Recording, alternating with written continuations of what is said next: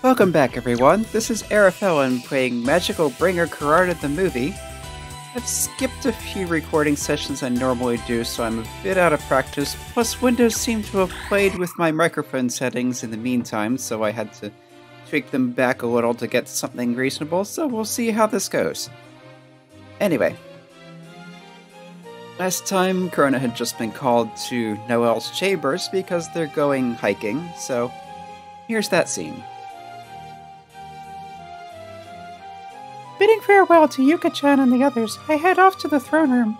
This is my first time coming in the castle's core, and it's smaller than I expected. A solemnly adorned room with candelabra, and a small throne placed off by itself, apparently sized to fit Noel-chan's frame. I enter the room, and from the throne, the ward of the castle greets me, saying, I see hast come. Black leather clothing and deep red manteau and ribbon, the demon lord Noel in rather cute fuel regalia. That looks so good on you. You really look like a ruler like that. How rude, I am ever a ruler. That aside, as I said yesterday, I meant to guide you to the southern chasm today. Right, we're going hiking.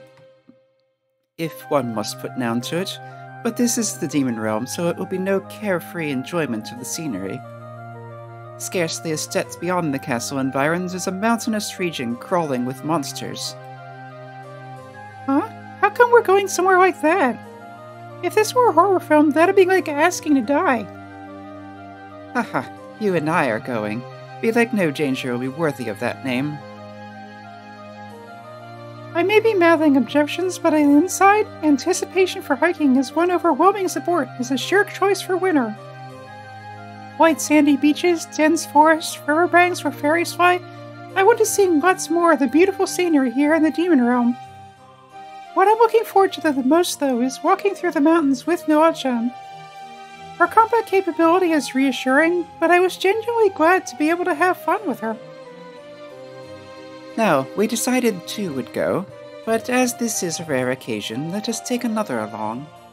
Jarl and Crom shall mind the castle. Go choose any other than those two. I get to pick? Indeed, but mind that is only one. Come to the castle gate once has chosen whom to bring. I shall await thee there. Sure, I'll bring someone right away.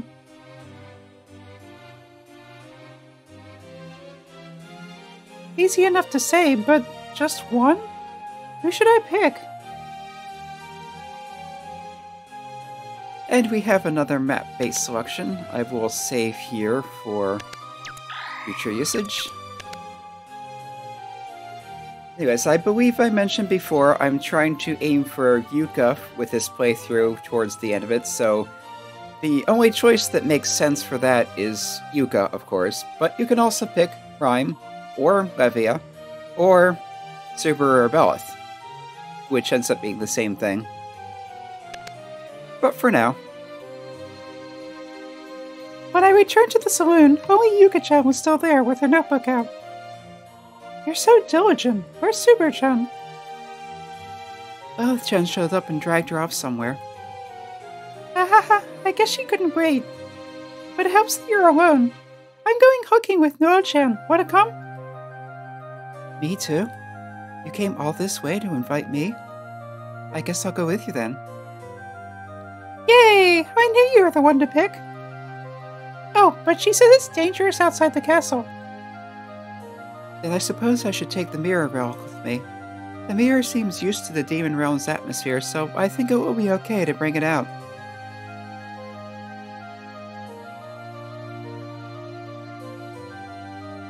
Thanks for waiting! Thank you for the invitation. Let's enjoy ourselves. As predicted? Hmm? No, I meant not any deep meaning. I expected Korona would be like Bring Thee if she were told to bring but one. You two are quite close. We're childhood friends. I've known Yuka-chan the longest, so she's the easiest one to invite. I'm glad, but a bit embarrassed. Childhood friends. Now, and I'll be here, let us go. It is yet before noon, but I would that we return by sunset. Okay, then we're off hiking!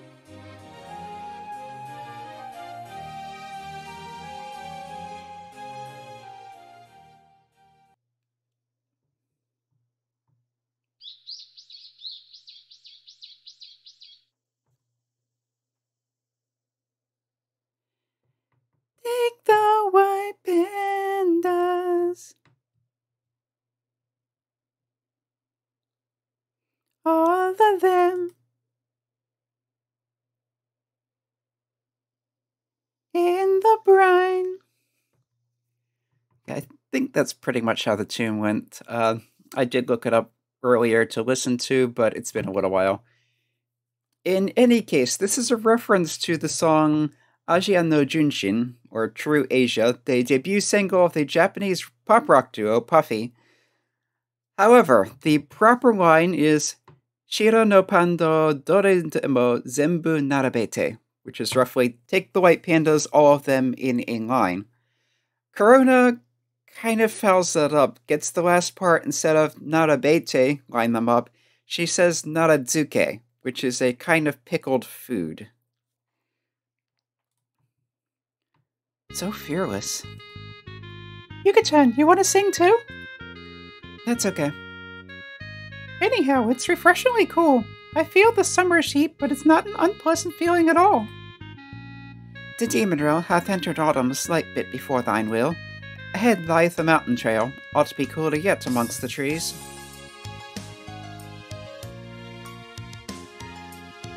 There's some rather nice scenery.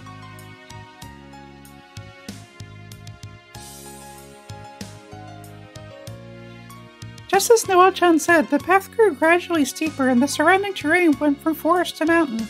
Dense trees block off direct sunlight, a fresh breeze blows down the slope. It certainly is cool. It's cool, but since we're hiking up a mountain trail, I'm still hot. Several yards ahead of where we walk with sweat on our brows, only the one who said it would get cooler walks at the same brisk pace as before. Korona-chan, here, have a towel. Thanks! Yuka-chan took a face towel from the backpack she wore and gave it to me. Then she wipes off her own sweat with another towel. Oh, her pack probably has enough towels in it for three people. That's just how Yuka-chan is. Sorry, oh, I'll wash it and give it back. I said, but I always say that. I feel kind of bad about it, but I expect her to be generous with me.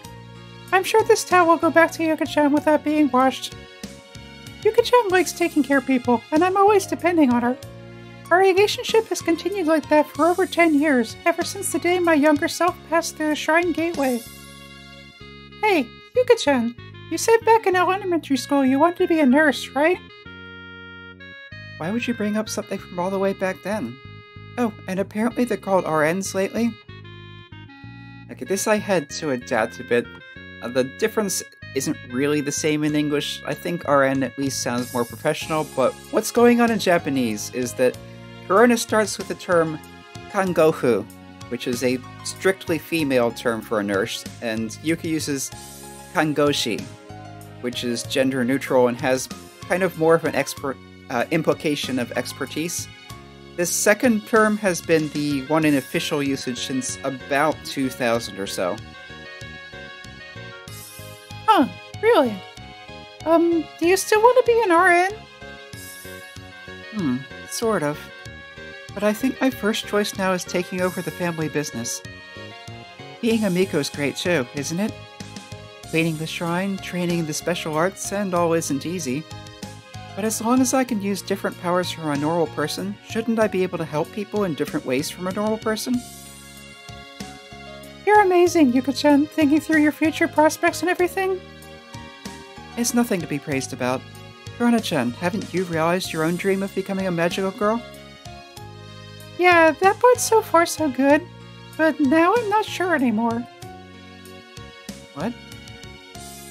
I'm not sure what I should be doing. I just wanted to become a magical girl, and that's as far as I thought. I met Asiris, became a magical girl, finished the battle with Noel-chan. It was fun at first, but before I knew it, it all started to seem hollow. The demon sword being summoned is a sign that something big will happen. I'll use the sword as the chosen one. That's what Asiris said. But until then, what should I do? I see. Well, how about this?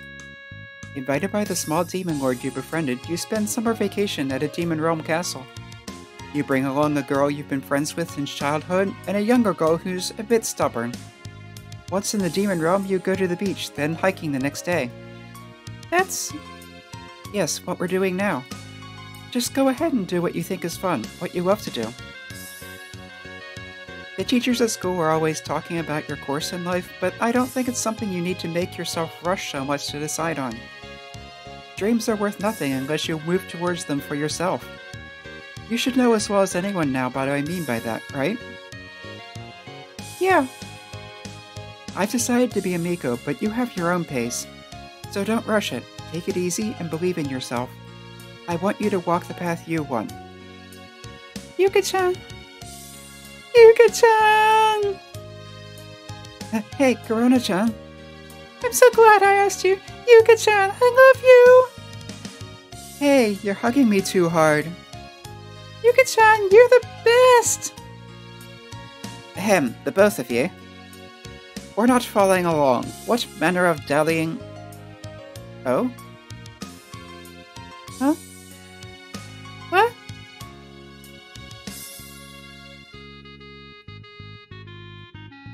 Pardon me. Uh, hey. N- No-chan, wait! It's not that. It's not what you're thinking.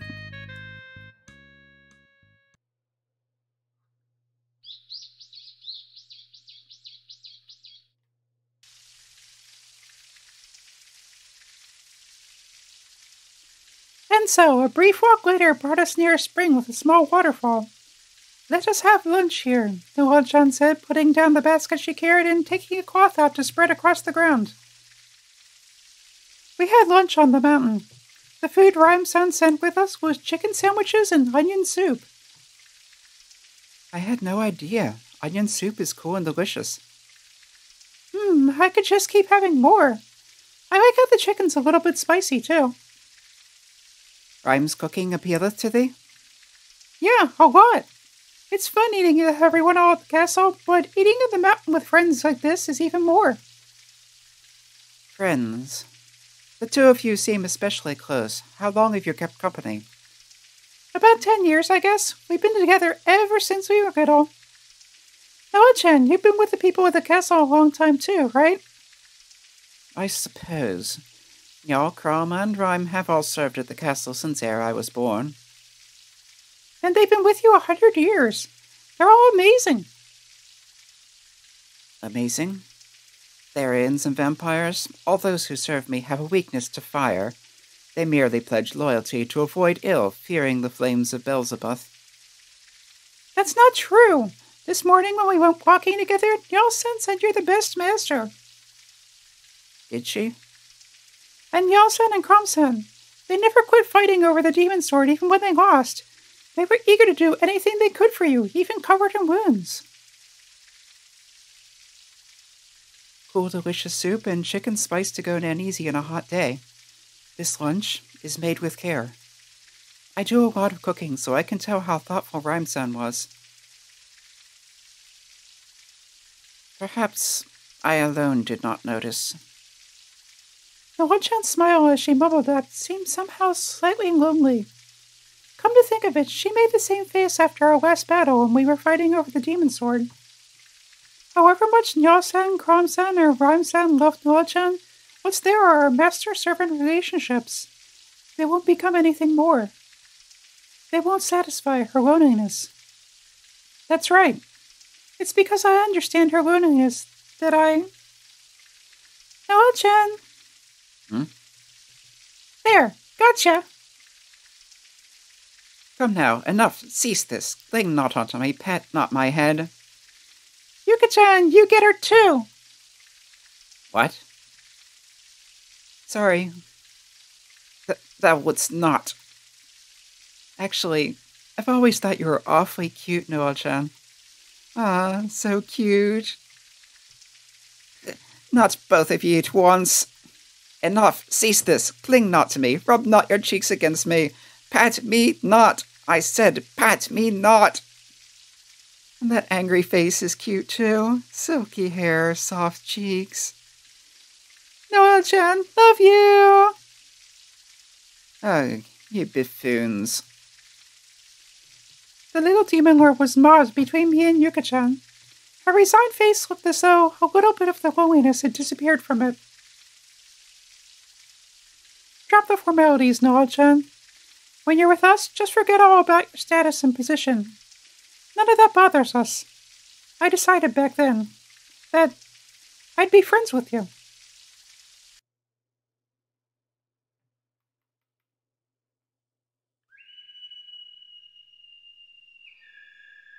By the time we finished lunch, the sun had started moving a bit to the west. As we continue our ascent from the spring towards the summit, the trees grow sparse and soon give way to rocky crags. The adventuring party continued somehow along the trailless trail despite staggering in the poor footing. Wait, what adventuring party? What's be the matter? Never mind, I'm talking to myself. Indeed. We shall reach the summit shortly. The rest is downhill once past there. Roger that.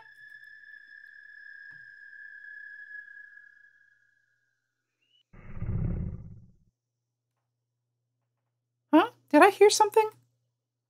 I heard it too. Maybe a rock fell somewhere? Maybe, but I'm not sure it sounded quite like a rock. Right, it was more like that. That's not a rock. Huh? What? What? Oh, how unusual. Tis rare to meet such a one here. What's going on? Hyperion. Hyperion?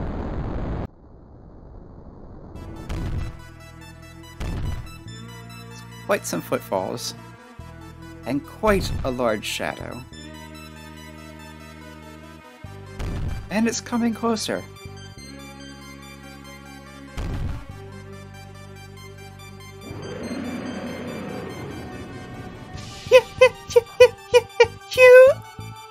Calm thyself.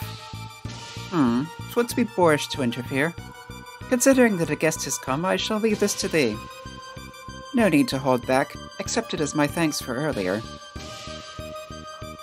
Uh, hey, Noel-chan, where are you going? Hey! Uh, um, anyhow, transform!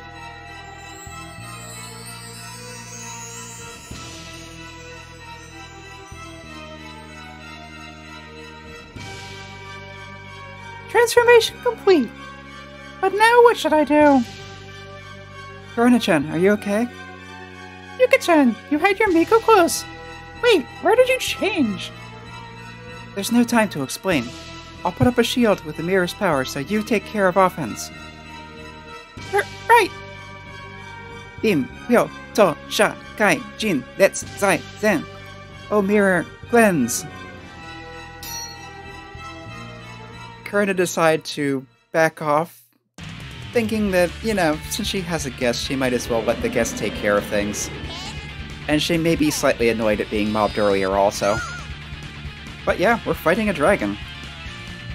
Uh, fortunately for Korona, in this particular path, she has Yuka helping her, and Yuka gives a number of advantages, which we won't see just yet. Yuka is a defensive specialist, so we'll be seeing that come up in Korona's guard rounds. Well, the things are also shown on the side there now, but they don't do anything here.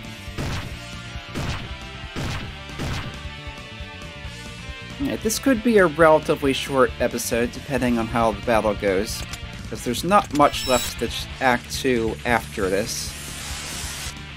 But we'll see.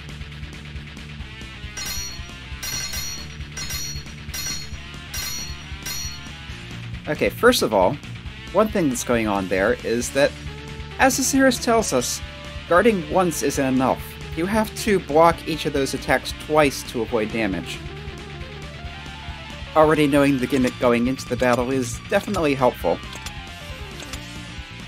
But it's probably not too hard to figure out if you're paying attention to what's going on, and of course he spells it out after you've already been attacked, but it's better than not telling you at all. Uh, the difficulty level is starting to increase after doing well in previous battles. You'll notice that the things are... Uh, they call them chips. The chips are moving faster in everything except the initiative rounds, which are always unchanged, regardless of difficulty. Korona's damage is scaled down, the Dragon's damage is scaled up. Dragon is also getting more hits in its attack than it would if it uh, starting difficulty. Anyway, as you were seeing, Yuka gives you two special abilities during your defensive rounds. One is the Defense X2, which is pretty straightforward. When that is in effect, all damage you take is halved, which effectively doubles the health you have and makes you much more able to survive battles. The other thing Yuka gives you is the Reflect ability.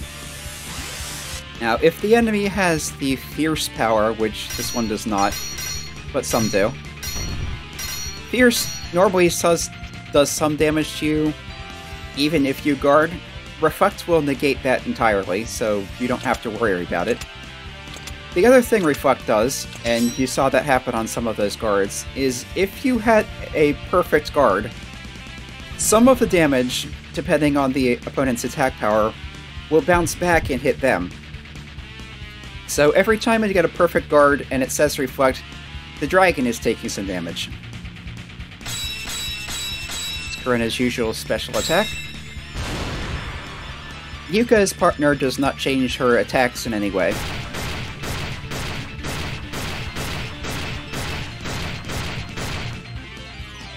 So you still get their 12 hits instead of 8 with the normal power and guaranteed criticals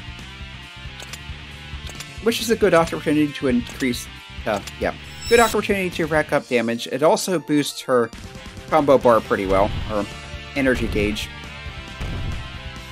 Moving towards the next special attack. Anyway, here we have Hyperion's special attack.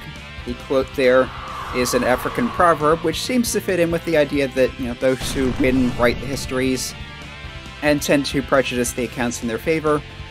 The dragon may be objecting that. Anyway, this is a fairly straightforward special attack. It sends out two, or I think at higher levels, three clumps of attacks, which then burst and spread out into a more normal spread of things. The biggest complication that can have is that sometimes you'll get chips pretty much on top of each other. Which I think we saw one in that series of attacks, so not that big a deal, but if you have more of those, if they're not as straightforward, that can make it harder to plot. It's also somewhat less predictable than a standard set of attacks. On the other hand, it doesn't have the special ability that the dragon's normal attacks do, where each attack hits twice.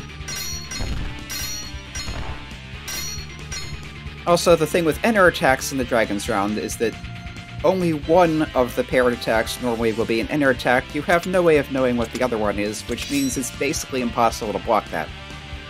Fortunately, with Yuka as a helper, all damage is halved anyways, so not that big a deal. We have Korona, looking like she's a captain on the bridge of a warship. Starship. Yeah, I could just picture her captaining, like, the USS Osiris or something. Knock on target, fire all phasers. Anyway, Korona Blaster is 16 hits, and like any other special attack, all of them are automatically critical unless you miss out, right? So that's twice as much as the maximum possible damage of her normal attack. It does not charge your energy gauge, but the extra damage is usually a small price to pay for that. There are also situations where long-range attacks like that come in handy, uh, for instance, if you have an attack down effect, which I don't think is actually in this game, that's not affected by it. Conversely, it's not affected by attack up either. Got a little flustered there. And not paying enough attention. Anyway. Uh, range attacks also have some other benefits, like they'll negate uh, Niall's hiding ability, which we didn't actually see.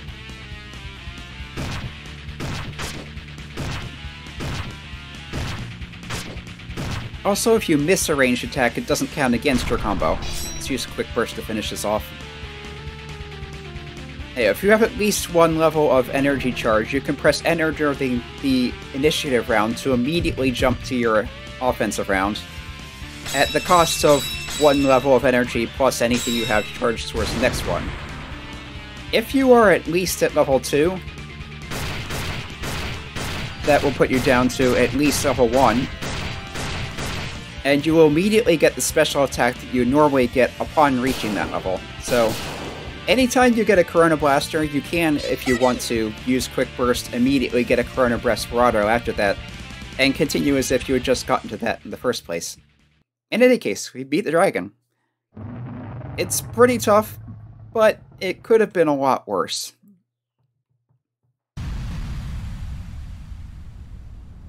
And that is a nice dramatic finish there. We we won. Wow. We won. We won against something like that. A triumph of teamwork. Aye, splendid. Jeez, no, Chan, just watching? That's not very nice. Certainly, we would have dealt with it in but a moment had I joined in. Yet, that would scarce be interesting. It was entertaining, was it not? Yeah, it's not every day I get to fight a huge dragon, so thanks. But how about if we're attacked again? I won't be able to hold out against so much intensity.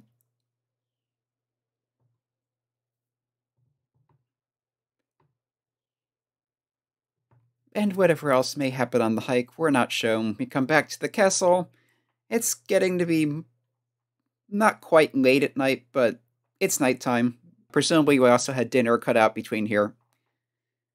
Today was a long day. It started with fighting Yaw-san in the morning, then a steep mountain climb during the day, then a fierce battle with a dragon at the summit, as if that weren't enough already. Once I'd washed the sweat off in the bath and stuffed my belly full of dinner, sleeping was everything to me. Ah, my energy's hit its limits. Steps to bed. Three, two, one.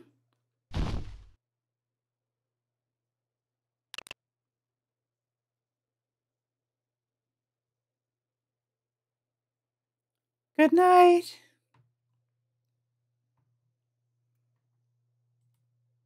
And that is the end of Act 2. This has been Erifellen playing Magical Bringer of the Korona the movie, and we just beat a dragon.